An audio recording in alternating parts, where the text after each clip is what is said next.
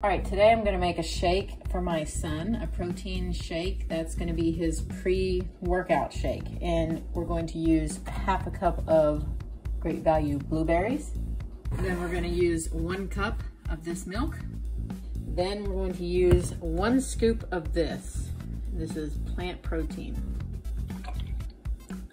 There's one, and our half a cup of blueberries. All right, then we're ready for our scoop of protein powder.